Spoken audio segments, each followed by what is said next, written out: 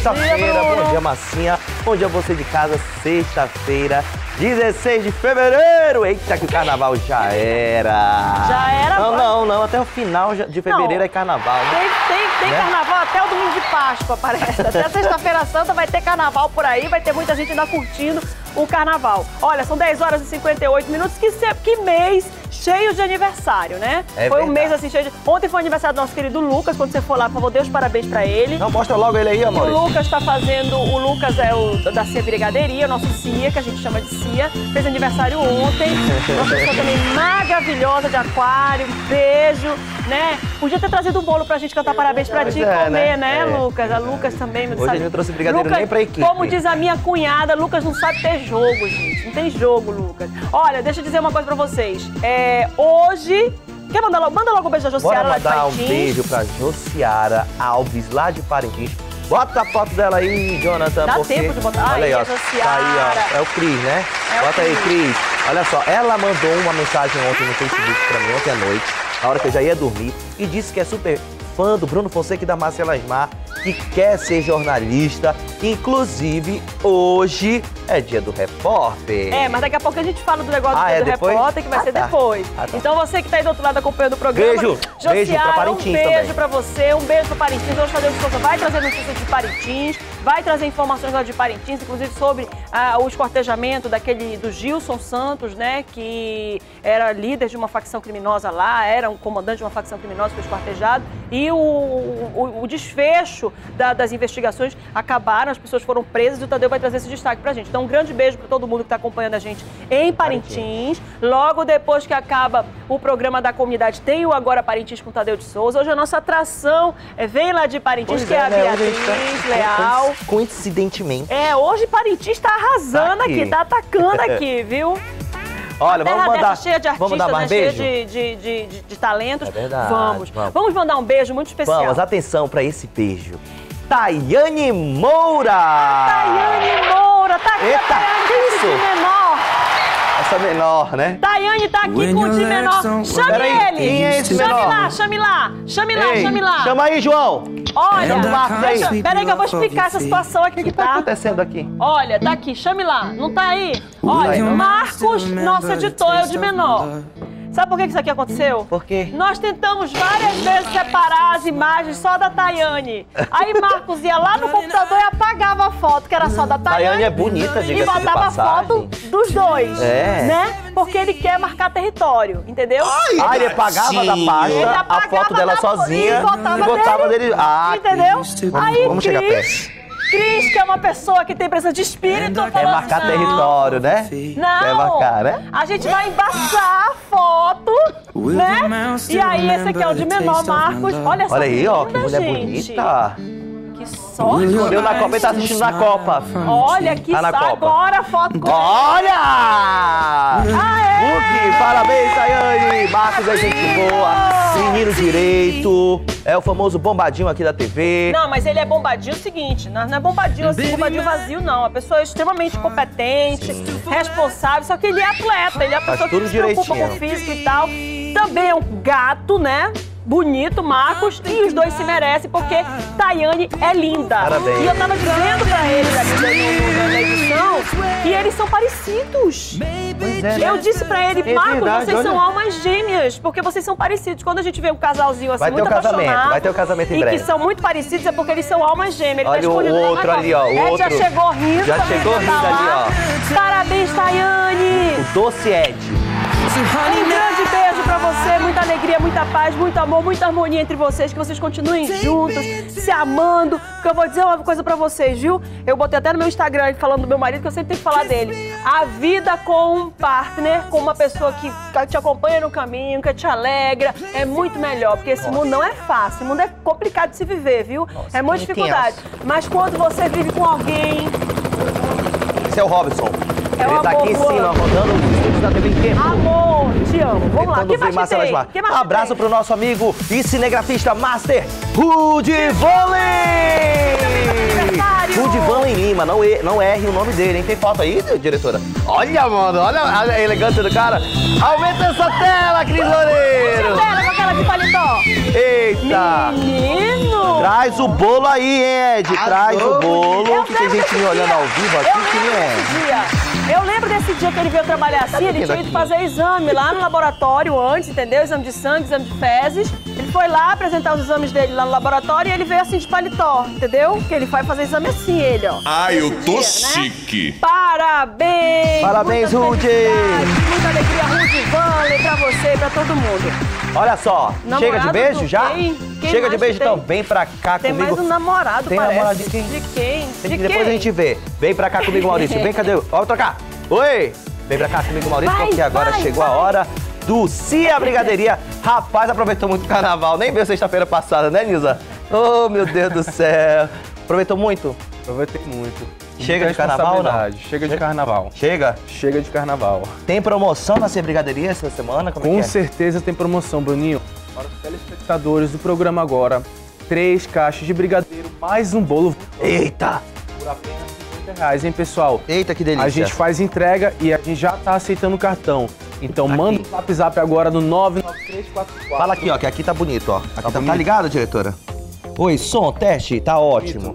E aí? Então, Bruninho, é, só repetindo, três caixas de brigadeiro, mais um bolo, por apenas 50 reais. Nós fazemos entrega e nós estamos aceitando cartão. Manda o WhatsApp no 99344 9227, beleza? E pra Beleza. quem estiver ligando, participando da promoção, vai estar concorrendo ao bolo de chocolate belga. 3307-3950 é o número que você pode ligar pro nosso agora premiado. E você não vai dizer alô, você vai dizer se é brigadeiria. Difícil é, É comer, comer só, só um. O quê? Repita, com todo prazer, querido Ricardinho. Se é brigadeiria, difícil é comer só um. Liga pro agora premiado, a gente tá doido pra dar esse bolo e muitos brigadeiros pra você. Márcia está na mão com o melhor jornal de circulação aqui do Amazonas, que é o Jornal em Tempo, né, Márcia? É, tá aqui, está aqui em minhas mãos e você que está aí do outro lado pode acompanhar todas as notícias logo cedinho no sinal, na parada de ônibus, lá nos terminais, nas padarias e você fica muito bem informado por 50 centavos apenas. O destaque de hoje do nosso jornal é guerra ao tráfico, olha aí, guerra no tráfico, né? Tá todo mundo brigando entre si, tá se acabando, tá tendo disputa por, li- por liderança de facção criminosa e a gente está trazendo para você esse destaque no, no jornal, que você acompanha todas as informações aí, ó. Racha provoca guerra no tráfico. E a gente traz isso aqui também, já corroborando o que está acontecendo também em Parintins, onde um dos grandes traficantes da, da ilha foi morto, foi esquartejado, foi é, assassinado com requintes de crueldade. Os autores já foram presos. O Tadeu de Souza vai trazer hoje no nosso programa da comunidade. E você acompanha essas e outras notícias no nosso jornal, que está todos os dias por 50 centavos apenas, onde você encontra é, política, cultura, economia, polícia, celebridades, tem receita, receitinha também. E principalmente você que está do outro lado não conseguiu comprar o seu jornal, vem para cá, Bruninho, comigo. Você pode acompanhar as notícias pela plataforma digital no www.emtempo.com.br. Tudo que você vê aqui no jornal, você também acompanha na plataforma digital e muito mais, que traz notícias da capital, do interior e do mundo. É verdade, para saber o que é notícia na internet na manhã dessa sexta-feira, nós vamos até a nossa redação do Jornal em Tempo com Gabriel Costa. Bom dia, Gabriel. Olá, bom dia Márcia, Bruno e telespectadores da TV em Tempo. A Polícia Civil do Amazonas prendeu quatro homens por dívida de pensão alimentícia nesta quinta-feira. Os mandados foram expedidos pela Vara da Família. Os acusados já foram levados para o Centro de Detenção Provisória. O apresentador Luciano Huck desistiu da corrida presidencial. O astro havia sido cotado por representantes do Centro Político Brasileiro e chegou a receber apoio do ex-presidente Fernando Henrique Cardoso. Mas na tarde desta quinta, Huck deu entrevista descartando a possibilidade. O apresentador não quis dar detalhes sobre o assunto. E você tem interesse em aprender uma nova língua? Sabia que já é possível fazer isso sem sair de casa? Nossa equipe preparou uma lista com cinco aplicativos que ajudam nessa tarefa. E tem para todos os gostos. Alguns são voltados para crianças e outros permitem interação com nativos da língua que você quer estudar. Legal, né? Para essa e outras notícias, acesse nosso site a qualquer momento, em tempo.com.br. Você nos acompanha também pelas redes sociais no arroba em tempo oficial. Por hoje é só e até a próxima. Ah não, pera! Bruno e Márcia, vocês sabiam que hoje se comemora o dia do repórter? Não podia deixar de dar meus parabéns. Volto com vocês aí no estúdio.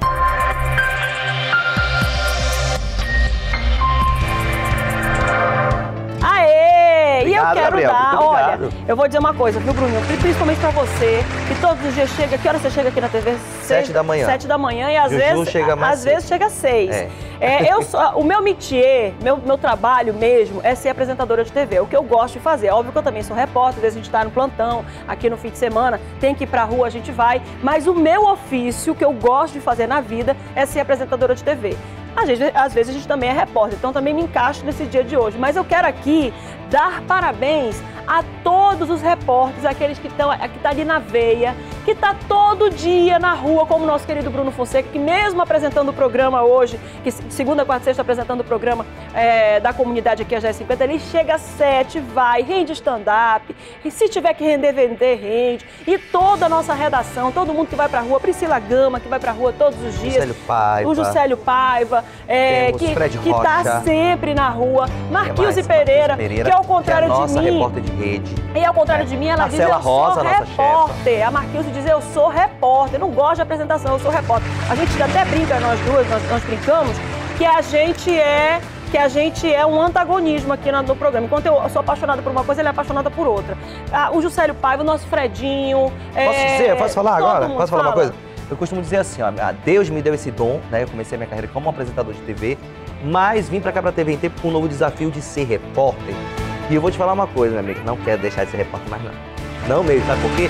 Porque é um desafio diário, a gente conta história todo dia, a gente tá junto com o telespectador, a gente vai junto na comunidade, e eu costumo dizer, como sempre a gente diz aqui, Marcelo, que o jornalismo diferenciado da TV em Tempo é aquele que realmente é vivido. A gente vive junto com você, não apenas estamos cobrindo o fato ali, não. A gente está junto contigo, sofrendo, levando ali a informação para quem está em casa. É por isso que o nosso jornalismo é aquele que conversa com você. Conversa com Feliz dia você. do Todo mundo repórter! da rádio, todo mundo da TV, todo mundo do nosso, do nosso, do nosso impresso, todo mundo que está na rua, nesse nosso clima que dá uma, Total, uma canseira pra gente, que é um clima quente, um clima úmido, quando não tá chovendo muito, tá um calor danado, e você tem que ir lá suar e tudo.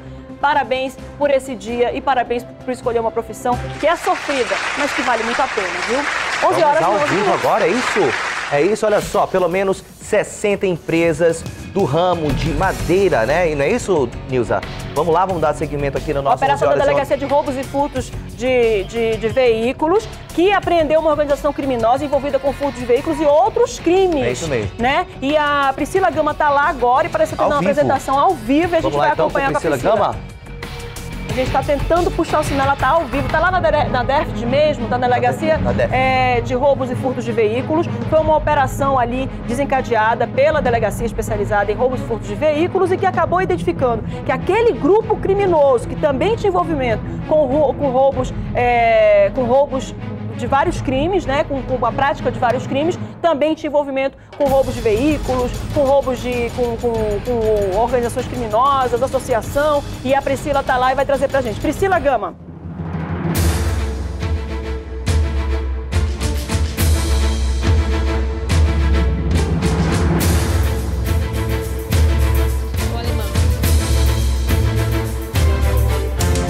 Ela não tá ouvindo a gente, ela tá Ela sem. não tá ouvindo. Vamos tentar restabelecer tentar o contato com a Priscila. Já já, Priscila É, vamos tentar Gama, direto da DERTV. Olha, daqui a pouco a gente vai trazer essa informação. Até porque ah, são 12, 11 horas e 12 minutos e essa informação é de primeira, viu? A gente vai dar primeiro pra você aqui no programa da comunidade. Enquanto a gente consegue restabelecer o contato com a Priscila, que daqui a pouquinho vai trazer a apresentação desses criminosos e mais o trabalho desenvolvido pela Delegacia Especializada em Roubos e Furtos de Veículos, a gente vai para Barcelos. Vamos para o interior do estado e vamos falar de coisa boa, porque Barcelos, por muito tempo, foi a capital mundial do peixe ornamental. Mas, é, por causa da queda da qualidade dos peixes da região, o número de exportações acabou diminuindo. Mas Barcelos já está né? pensando aí numa alternativa para mudar esse quadro, né, Bruno? É, foi encontrada essa alternativa para mudar esse quadro, projeto que defende a pesca sustentável no município. Vamos conferir a reportagem dele, Alisson Mota.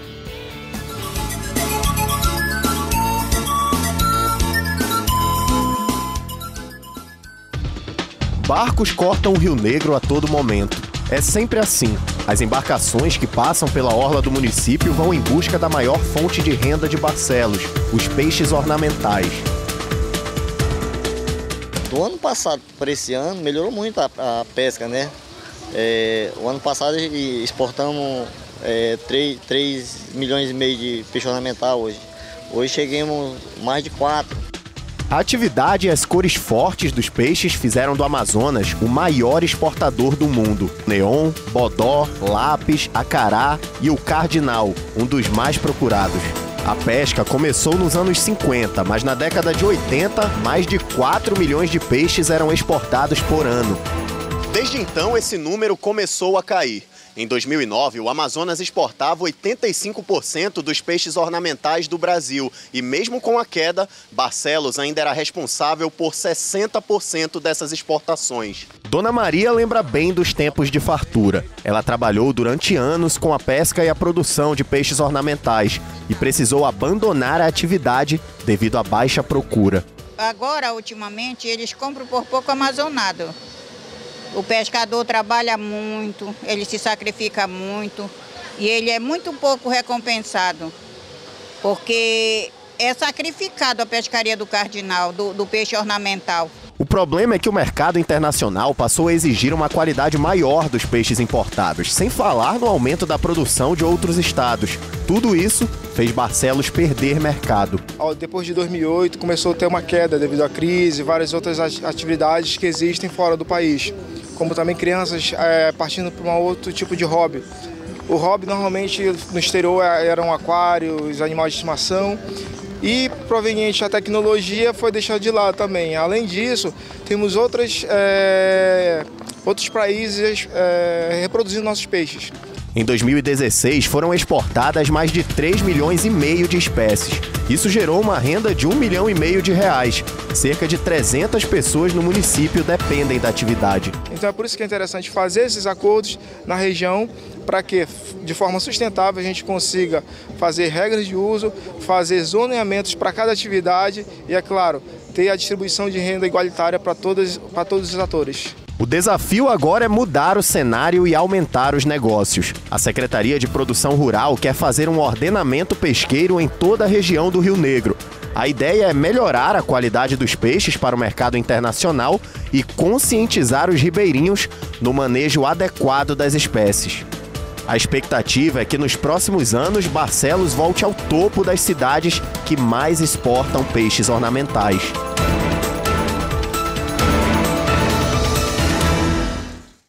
Além de ser uma cidade linda, né, que atrai aí turistas pelos Do seus mundo inteiro. encantamentos naturais, agora aí, né, com essa nova forma de ganhar, né, de ter aí uma comercialização com peixe ornamental. Parabéns aí a todos os investidores, as pessoas que trabalham realmente, né, Marcos? Trabalho, trabalho muito. O pescador é, é realmente sofrido, né? A que tem é, subvenção para poder ter esse apoio em épocas de defesa e tudo. E é um, uma profissão que realmente exige muito do pescador e ele precisa ter todo esse apoio. Ainda bem que Barcelos está conseguindo contornar essa situação Ainda e bem. vai continuar sendo uma capital de peixe, sim, de pesca esportiva, de exportação de peixe ornamental, de tudo isso. 11 horas e 17 minutos. A gente vai mudar de assunto agora, vai falar um pouco de polícia, vai trazer para você que está aí do outro lado a apresentação do motorista que atropelou e matou um sargento da Polícia Militar no dia 8 de fevereiro. A Mariana acompanhou essa apresentação, conversou com a, com a polícia e ela vai trazer para a gente as informações aqui na tela. Mariana.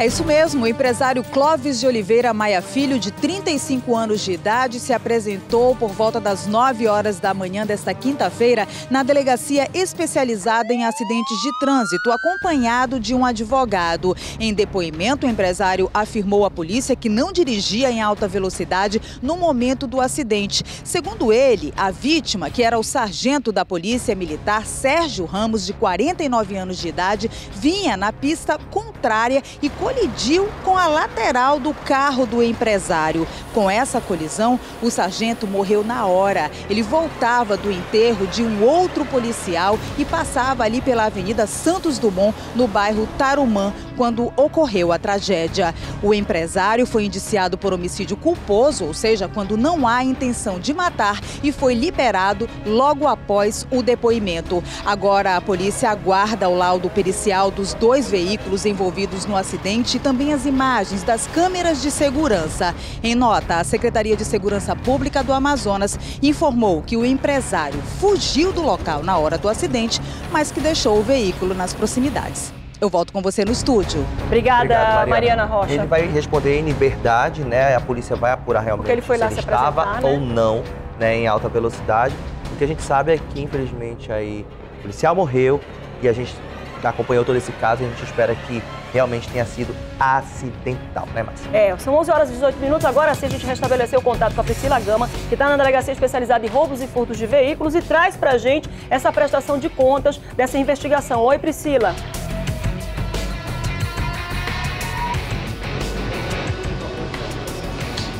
É isso mesmo, Márcia. Bom dia para você, bom dia a todos que acompanham o programa da comunidade. Nós estamos ao vivo aqui da Delegacia Especializada em Roubos e Furtos de Veículos para falar de uma quadrilha que foi desarticulada pela Polícia Civil. Eles são acusados de roubar veículos aqui na capital. E quem vai falar deste caso é o doutor Rafael Alemão, que está acompanhando este caso. Doutor Rafael, bom dia. Essa quadrilha então já efetuou aí quatro roubos de veículos e vocês chegaram até eles depois do depoimento de uma das vítimas no dia 9 de janeiro, é isso mesmo? Sim, é, as investigações iniciaram a partir do dia 9, onde houve a subtração do veículo Etios, só que elas intensificaram durante o carnaval, que eles praticaram diversos roubos utilizando esse veículo roubado também. Nós conseguimos localizar o endereço aonde esses veículos eram deixados, as diligências foram setadas no dia de ontem, é, conseguimos efetuar a prisão de todos eles. Eles confessaram quatro roubos, conseguimos recuperar dois veículos. Um já havia sido recuperado no dia 12 e nós estamos atrás do último, que é um Prisma preto. E conseguimos efetuar a apreensão também de uma arma de fogo, substância de entorpecente e alguns objetos das vítimas levados. O que, que eles faziam a, após o roubo desses veículos? Eles vendiam para desmanches, cometiam outros assaltos, anunciavam em sites, enfim, o que, que eles faziam? Sim, após a subtração do veículo, eles deixavam o veículo em determinado local. Já tinha uma pessoa certa que receptava esses veículos. Eles vendiam por quantia módica, 1.500, 2.000 novo. E já saíam para efetuar outro roubo. Esse dinheiro arrecadado por esses crimes era gasto em noitadas, em, falou que comprava comida, pagava aluguel. E com a venda de droga também eles lucravam um pouco de dinheiro. Delegado, a gente está vendo aqui o material apreendido, dá licença aqui. O nosso cinegrafista Maurílio Rodrigues está mostrando celulares, tem arma, munições. Esses apetrechos aqui estavam com eles, eram das vítimas ou dos suspeitos? Sim, é, esses objetos aqui foram levados do, do, roubo do veículo Gol, que ocorreu no dia 12. É, a vítima conheceu todos. Alguns outros objetos foram recuperados no dia anterior, na casa de uma determinada pessoa, que também foi indiciada Importante ressaltar que, além dessas quatro atuações em flagrante, mais duas pessoas foram indiciadas por associação criminosa e receptação, tendo em vista que guardaram o veículo Gol na sua residência e os objetos da vítima. Vou pedir para a nossa produção colocar imagens dos suspeitos que foram presos nessa operação da Polícia Civil. É, delegado, desses quatro, né, tem um casal e mais dois rapazes. Algum já tem passagem pela polícia? Sim, o Kemerson e o Kidder são irmãos. A Diana é esposa do, do Kemerson. O Kemerson e o Rodrigo, eles possuem diversas passagens. O Kemerson tem três passagens, duas por roubo e uma por tráfico e receptação. E o Rodrigo tem três passagens por roubo. A Diana não tem passagem, o Kidder também não. Indiciados por associação criminosa? Sim, eles vão responder por associação criminosa, tráfico de drogas, associação para o tráfico, posse de arma de fogo de uso restrito e receptação. Tá muito obrigada. Nós conversamos com o delegado Rafael Alemã, responsável aqui da especializada em roubos e furtos de veículos. Márcia, eu volto com você no estúdio. Obrigada, Obrigado, Priscila, Priscila. Gama. A gente está vendo aí Quadrilha todo perigosa, uma né? quadrilha perigosa com Olha vários aí. antecedentes criminais, ou seja, tem um histórico policial extremamente pesado. É, Apareceu as imagens dos, dos, dos presos, Nilza, porque eu estava aqui olhando aqui a- o Apareceu, vídeo. apareceu. Eu queria que, por favor, colocasse de novo. Sabe por quê? Porque tem muita gente que foi vítima deles e que não está nem sabendo que eles agora são presos. Então Bota, você, pode encher a tela. é, você pode encher, pode encher a tela, Cris, por favor? Olha, é uma você está acompanhando também, as imagens aí dos envolvidos nessa organização criminosa que foi, foi desarticulada pela delegacia especializada em roubos e furtos de veículos e começou as investigações a partir da denúncia de furto de veículo e acabou identificando que além do crime do de furto de veículos também tinha envolvimento com outros crimes como associação para o tráfico, tráfico de drogas, porte ilegal de armas e tantos outros crimes, conforme o doutor Rafael Alemão acabou dizendo aqui. Então você que foi vítima dessas pessoas e que reconheceu essas pessoas, dirija-se até a delegacia especializada em roubos e furtos de veículos para denunciá-los. Por quê? Porque cada processo criminal é uma pena a mais que eles serão condenados e vai ficar muito mais tempo na cadeia e não vai voltar para a sociedade até que eles pensem bem e digam: não posso roubar as pessoas. As pessoas trabalham e ganham as suas coisas a partir do suor do rosto delas. Para poder eu ter as coisas, eu vou ter que trabalhar também, né? Eu não posso roubar, eu tenho que trabalhar. Então, você que identifica essas pessoas como é, autores de outros crimes no- nos quais você foi vítima, vá até a delegacia e denuncie. Até porque, né? Se quer carro, olha aqui, vai trabalhar para comprar carro, meu amigo. Olha só, depois do intervalo você confere. Estudantes enfrentam uma grande fila no último dia de cadastramento e recadastramento da meia passagem aqui na cidade de Manaus. Esse detalhe, olha só a fila aí, ó. Olha a enorme fila na frente do Sinetran. Isso você confere daqui a pouco, depois do intervalo. 11h24, agora volta já.